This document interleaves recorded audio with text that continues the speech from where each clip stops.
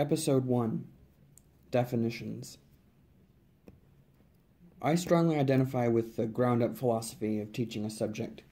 It is best to not leave anything to assumption or chance, and cover every detail possible, and expand upon these small building blocks until larger structures can be made. So, this video will deal strictly with 12 tone theory so that we can divide and complexify in the future. For those of you who have a lot of knowledge about music theory, this will likely be all review, and of course, you're welcome to skip it, but who knows, maybe you'll learn something new here. In Western classical music, sound is organized on a staff spatially. Dots can be placed on the staff up and down to notate pitch, such as high and low, and as well the shape of the dot, as well as modifiers put onto it notate how long the note ought to be played for. Notes placed on the staff by themselves correspond to the white keys of the piano, and each of these white keys are given one of seven letter names, which repeat themselves theoretically infinitely. The lowest white key on the piano is called A, the next B, and so on, continuing until G is played, which is followed by another A. There is no H in our music, but instead we have these cycles of A through G, A through G, etc. If you listen closely, you'll hear that every one of these repeated pitches have a very similar sound to each other relative to the notes around them. We would say that these similar notes are an octave apart. For example, this G is one octave higher than this G.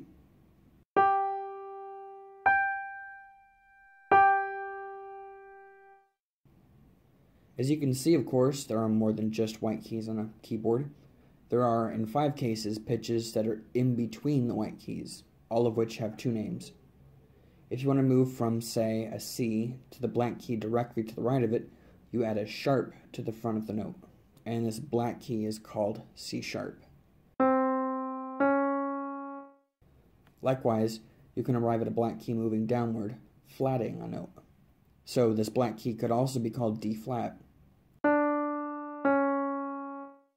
Generally, sharp means move up one semitone or half step, and flat means the opposite. If you want to go back to a white key from a black one, you can use a natural symbol. All of these symbols collectively are called accidentals. Sharps can go on any note, however, not just C, D, E, G, or A, and as well, F and C can be flatted. So B sharp is enharmonic, meaning it has the different name for the same sound, with C natural. F flat is enharmonic with E natural. By this rule, every key on the keyboard really has several names, and being intimately aware of how the rules affect different pitches is important to being sure that you don't accidentally play a wrong note somewhere along the way. While not terribly common, there are even double accidentals, double flat and double sharp, which mean you move an additional step in that direction. So G double flat is enharmonic with F natural. B double sharp is enharmonic with C sharp. When we get more into quarter tone accidentals, you'll begin seeing the double accidentals used more often because they provide a sort of barrier for the accidentals that we commonly use. Let's talk intervals now. An interval in music theory is the measurable distance between two notes on a staff. Interval names have two parts the general distance and the specific quality. First, a look at distance. When finding an interval, one begins with the start pitch and counts until they reach the end pitch.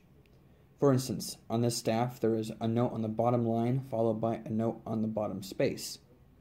The bottom line is 1, counting up until the goal is reached at 2. So we would call this interval a second. Thirds look like a line jumping to another line, or space to a space, with one note in between them. Fourths look like a second, except there's also another space or line sandwiched between the notes. Fifths jump two lines or spaces, etc. Intervals can theoretically go on forever, and you could have a 78th or 150th interval if you wanted, although notation would probably get a bit taxing at such extremes. The important takeaway about the first part of an interval is that it deals strictly with distance on a staff, not the sound of the pitch itself. We're going to discover that there are many enharmonic intervals, meaning that while they look different, they sound the same. just like with pitches themselves. So before you try working out the quality of an interval, always be sure to measure its distance first. Interval quality refers to the more refined tone that an interval makes up, or how many semitones wide the interval is exactly. The fundamental interval qualities are built by following a major scale. Let's use a C major scale to build these intervals. C to the same C is a perfect interval. That means it has no emotional quality to it, it's just a sterile sound. There's no beating. So, if two notes are the exact same as each other, this distance is called a perfect unison, which is notated on the page as P1.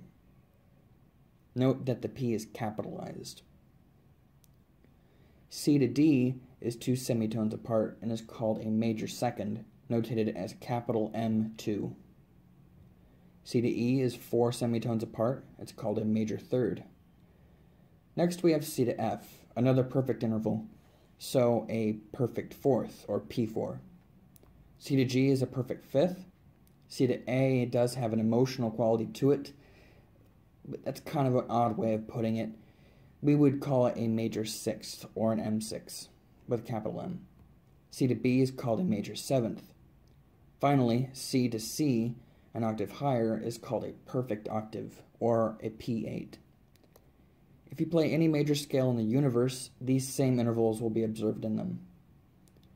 All of these can be expanded or contracted while still maintaining their intervallic distance, but there are two different classes of interval present here, and thus they are nominally altered differently. Let's begin with the perfect intervals, unison, fourth, fifth, and octave. To make this kind of interval larger, in other words, to sharpen the goal pitch, is to augment it, which is notated with a capital A before the interval number. So a C to a C sharp on the same line is called an augmented unison, or a capital A1. C to G sharp is an augmented fifth. To flatten the goal pitch of a perfect interval is to diminish the interval, notated with a lowercase d. C to F flat is a diminished fourth. C to C flat an octave higher is a diminished octave. You may notice that a diminished fourth is enharmonic with a major third. They use different pitches to notate, but they sound identical. Be mindful of this and do your best to avoid the fallacy of claiming that these intervals are the same, and not two different paths to the same destination. The need to differentiate between enharmonic intervals will become clearer with time, I promise. The other class of intervals, second, third, sixth, and seventh, are altered differently and have different names for their alterations. Let's begin by lowering them. To flatten one of these intervals is to render it a minor interval, which is notated with a lowercase m, to tell apart from a major uppercase m. In handwritten work, it sometimes is useful to put a dash over your lowercase m if it isn't easy to tell the difference in your handwriting. So we have a minor second, minor third, minor sixth, and a minor seventh. Compare this to the flatted perfect intervals, which are called diminished. There is no minor fourth or major octave, and if you try to claim something as a minor fifth in your theory homework, you're going to get a big red F stamped on your forehead. So for the second class intervals we were just discussing, diminished actually is used for lowering it twice, not once as with first class perfect intervals. So a C to a D double flat is called a diminished second. C to B double flat is a diminished seventh, etc. Sharping a second class interval is to augment it. So theoretically, there isn't really a way of calling a doubly sharped second class interval like a C to an E double sharp, except perhaps something ham fisted like a doubly augmented third. But the rarity of such intervals really negates the need for terms like these.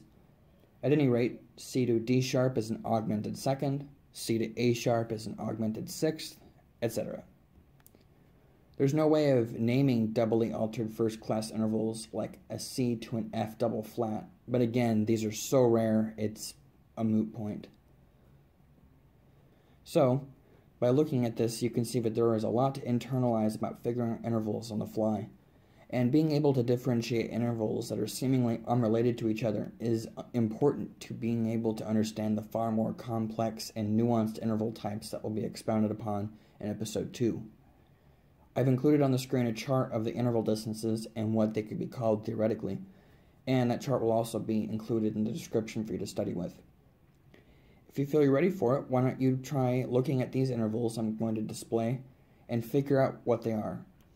You'll have five seconds to look, and then I'll show the answers, but feel free to pause and try to work it out if you need more time. I think the last fundamental that should be covered here is the issue of notating intervals on a scale. When you're dealing with scales, major second and minor second are used less often than whole step and half step, which can be the same thing but not necessarily so. Look at C to D half lap. It's a half step as well as a minor second. A C to C sharp, however, is a half step but an augmented unison. So, whole and half step are used for notating the distances between pitches in a scale. Whole steps are notated with a curved line connecting the note heads, like so. And half steps are notated with a crooked line that resembles a V, like this. Here is a D major scale notated with its step sizes. All major scales follow this rule of whole, whole, half, whole, whole, whole, half. So if you ever want to figure out how to write any major scale, try using that model to build it, and it should theoretically be correct.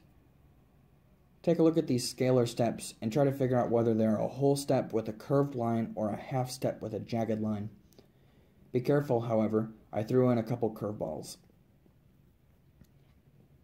If this episode has made any sense to you and you feel that you can replicate the various parts of it without difficulty, then I would say you're ready to continue to episode 2, where I will introduce some aspects of 24 tone music theory and how it relates to traditional 12 tone theory. If this lesson is confusing, however, and you do not feel like it makes sense, perhaps you should have a bit more training before attempting this series, which will delve into far more difficult content than this. I might sometime make a fundamental of theory series as well, which will go into more detail about the topics I've covered in this lesson, but this video itself was built to be a preliminary lesson to be sure that you're up to date on the core basics before diving into the deep end, and not as a formal introductory theory lesson. If you have any questions, feel free to post your concerns in the comment section and I will try to answer them as best I can. Otherwise, I'll see you in episode 2.